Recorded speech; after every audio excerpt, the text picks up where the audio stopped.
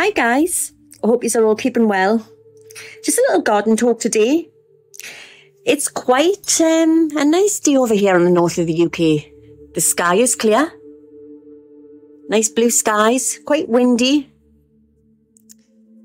And I just thought I would pop into the garden like a little gnome I am and just check on you all. I've been thinking about as we ascend that we need to protect our auras. I talk about this every day with clients. And sometimes when we ascend, we become more sensitive to the negativity what's out there.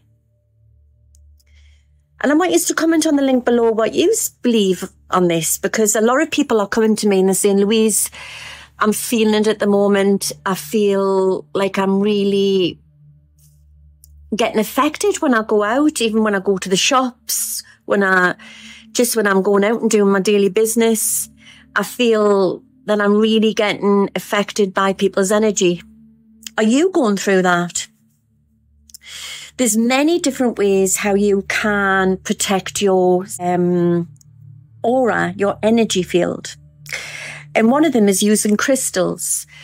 Now, I normally use tiger's eye, amethyst, um, but it's what suits you. And remember that your energy is changing all the time because we are frequency, we are energy. So there's no point me saying, oh, get tiger's eye because it might not affect you. You, you might be better off with some amethyst. So it's about trial and error. Okay. But if you feel like you've had a really bad day, say in the office, or you've been really affected by people's energy, have a salt bath. It works wonders. It really, really does. And it just cleanses your aura. There is a, a saying that I'm going to give you today and it'll really help you. And I always say this saying when I'm going out, you don't have to say it out loud. You can say it in your head. You can whisper it and it really, really works. And what I say is, I invoke Archangel Michael. I invoke Archangel Michael. I invoke Archangel Michael. Please protect me from anyone's negativity. Keep me safe, bring me back safe, happy, well. So be it. With love and light, love and light, love and light. And nine times out of 10, you will come back feeling great. Okay. So angels are there. Archangel Michael is the warrior angel. Don't feel guilty to ask for protection from him with all the bad stuff's going on in the world because he's, he's not human. Remember that. So he can be at any one place at any one time. That's what they're there for. But they'll only come and help you if you ask for help. Okay. There is a lot of information out there where people will say, oh, you've got a demand for help. But I just believe in being polite. Um, not wishy-washy, but definitely polite. And I always speak to people the way I like to be spoken to. And it's the same with angels, you know, they have feelings too.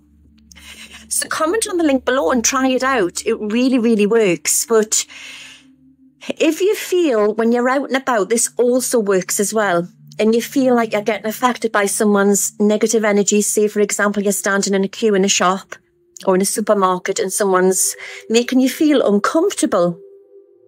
Okay. You can try this with anybody who's, you know, being abusive or anything, you know, you, what you do is you just imagine you're putting a shield around your aura.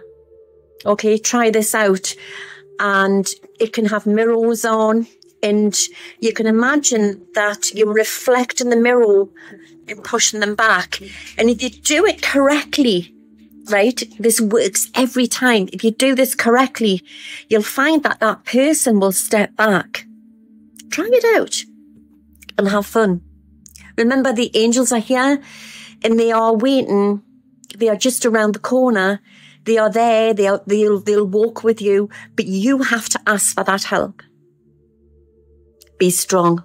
Stay safe. And may the force be with you all. Take care now. Bye now.